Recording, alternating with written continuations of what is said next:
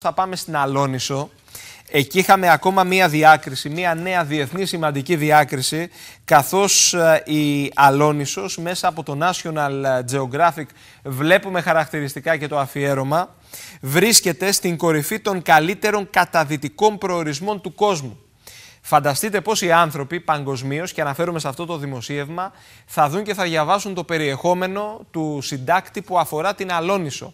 Φανταστείτε πώς οι άνθρωποι σε μια παγκόσμια κλίμακα, διαβάζοντας το ρεπορτάζ με αυτή την πολύ σημαντική διαφήμιση που γίνεται, θα κλείσουν εισιτήρια προκειμένου να επισκεφθούν την Αλόνισο το προσεχές καλοκαίρι. Και πίσω από αυτό το πρωτοσέλιδο κρύβεται μια συντονισμένη προσπάθεια φορέων, αυτοδιοικητικών, της περιφέρειας και κεντρικά θέλετε, προκειμένου να διαφημίσουν όλοι αυτοί οι φορείς αυτές τις ομορφιές Σαλονίσου. Θέλω να πάμε στην περιοχή και να πάμε στην πρόεδρο ε, τουριστικής ε, επιτροπής Σαλονίσου, την κυρία Αγάλου, την κυρία Μαρία Αγάλου, την οποία θέλω να καλησπερίσω και να την ευχαριστήσω θερμά. Τι κάνετε; Καλησπέρα σας. Ε, σας ευχαριστώ πάρα πολύ για το βήμα που μου δίνετε να σας παρουσιάζω και από, το δικό μου, από τη δική μου οπτική και από τη δική μου πλευρά τον προορισμό. Ε, θα σας πω χαρακτηριστικά ότι αυτή η διάκριση έχει έρθει μετά από πάρα πολύ κόπο. Σκεφτείτε ότι η Αλόνισος έγινε ευρέως γνωστή και το πρώτο υποβρύχιο ναυάγιο που υπάρχει στην περιοχή της Περιστέρας. Ένα ναυάγιο το οποίο ε, είναι το αρχαιότερο στον, στον κόσμο και φυσικά το κάνει μοναδικό το γεγονός ότι βρίσκεται στο μεγαλύτερο ε, θαλάσσιο πάρκο της Ευρώπης. Είναι πάρα πολύ σημαντικό, ε, σημαντικός ο λόγος για τον οποίο πραγματοποιούμε αυτή τη σύνδεση σήμερα, καθώς είναι πάρα πολύ όμορφο να βγαίνουμε από τα όρια της ε, περιφέρειάς μας, στην προκειμένη περίπτωση στην Κρήτη, να ανταλλάσσουμε απόψεις, να δούμε τι μπορούμε να εκμεταλλευτούμε από αυτό το το know-how μιας άλλης περιοχής για το πώς μπορούμε να προχωρήσουμε στην αξιοποίηση μιας θεματικής, όπως είναι ο καταδικό τουρισμός. Πριν από λίγο μιλήσαμε ε, με τον αντιδήμαρχο στα Χανιά. Το παλεύουν εκεί με το γαμήλιο τουρισμό. Ωστόσο, είδαμε ότι αν δεν υπάρξει ένα διεθνές ε, δημοσίευμα, που είναι το πρώτο και το σταθερό βήμα, δύσκολα έρχεται μια εξέλιξη. Αυτό το οποίο πετύχατε εσείς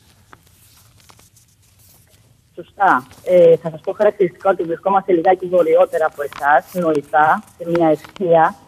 Ε, είναι πολύ σημαντικό για να, να πούμε ότι γενικότερα για την Ελλάδα και πόσο μάλιστα για τους μικρούς προορισμούς όπως είμαστε εμείς, να υπάρχουν φορείς οι οποίοι να αναδεικνύουν τις uh, ε, ομορφιές αυτές, καθώς επίσης και τις εναλλακτικές μορφές τουρισμού, μέσα, από τις, ε, μέσα στις οποίες ε, η Αλόνσος αυτή τη στιγμή κάνει ένα πάρα πολύ σημαντικό βήμα διότι πέρα από τον κατευθυντικό τουρισμό όπου ε, η Αλόνσος ε, κατάφερε να είναι το μοναδικό, ο μοναδικός προορισμός στην Ελλάδα και ο πρώτος προορισμός στο κατευθυντικό κομμάτι. Θα σας πω χαρακτηριστικά όμως ότι η Αλόνσος έχει ξανακαταλάβει την πρώτη θέση πριν από δύο περίπου χρόνια ε, και είναι πάρα πολύ σημαντικό για εμάς καθώς ε, γίνεται μια προσπάθεια και από τους φορείς αλλά και από τον Δήμο Αλονίσου να αναδείξουμε τις εναλλακτικές, τις εναλλακτικές μορφές τουρισμού τις οποίες η Αλόνισου μπορεί να υποστηρίξει στο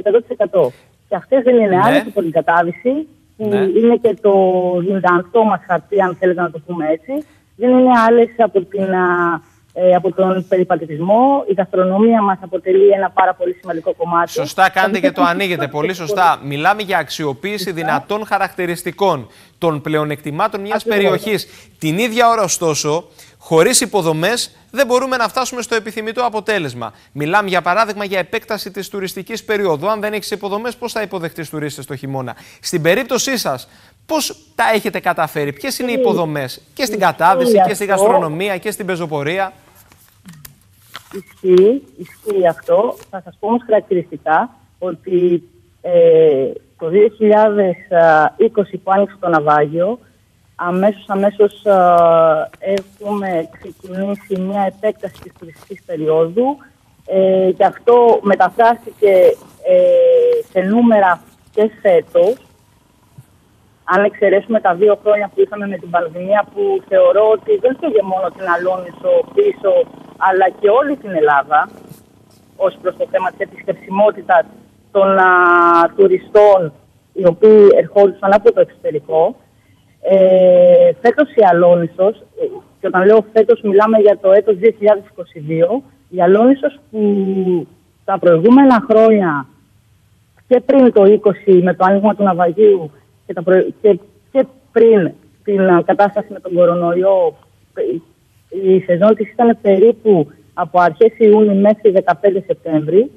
Φέτος είχαμε και το Μάιο κόσμο και η επέκτασή της έγινε, είχε ως αποτέλεσμα να δούμε να υπάρχουν ακόμα τουρίστε στο μαγαζί στο ε, νησί μας μέχρι και 15 Οκτώβρη. Άρα αυτό αμέσως, αμέσως σημαίνει για ένα περίπου 9% αύξηση της τουριστικής περίοδου και επιμήκυνση της σεζόν μας. Ευχόμαστε να πάνε όλα καλά. Τους πρώτους επισκέπτες για φέτος πότε τους περιμένετε; Μετά το Πάσχα. Μετά το Πάσχα. Ε, το δικό mm. μας, των Ορθοδόξων; Ε, ναι. Μάλιστα. Λοιπόν, να σας ευχαριστήσουμε θερμά. Ε, καλή επιτυχία να ευχηθώ. Με το καλό να ανοίξει λίγο και ο καιρός, να δούμε και λίγο φως εκεί στην Αλόνισο, στο κομμάτι της ζωντανής σύνδεσης. Να σας χαρούμε περισσότερο. Να, να, είστε καλά. Χαιρετισμούς. Θα είμαστε στη διάθεσή σας και πάντως να ξέρετε ότι από μέρους μας τουλάχιστον έχετε μια ανοιχτή πρόσκληση. Το γνωρίζουμε. Ε, τόσο για να σας φιλοξενήσουμε και να σας ε, ξεναγήσουμε στο νησί μας, όσο και να καταδειχθούμε μαζί στο ναυάγιο το οποίο σας περιγράφουμε. Γιατί αυτή τη στιγμή, κλείνοντας, ήθελα να σας πω ότι γίνεται μια προσπάθεια και από την περιφέρεια Μαγνήσια αλλά και από το Δήμο Αλονίσου στο να ανοίξουν και άλλα ε, ναυάγια στο, ε, στο νησί μας, τα οποία χρονολογούνται και αυτά από εκείνη την περίοδο όπως και αυτό το πρώτο που έχει ανοίξει και είναι από τον ε, 5ο αιώνα Με πολύ μεγάλη χαρά να τα πούμε για από κοντά και να ζήσουμε αυτή την εμπειρία, τους χαιρετισμούς μας.